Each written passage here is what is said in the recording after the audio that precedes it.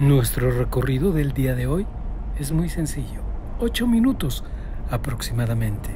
Partimos desde la calzada Lázaro Cárdenas hacia el oeste y de ahí tomamos justo al sur la carretera Chapala para ir al aeropuerto aquí en Guadalajara, Jalisco. Disfrútalo.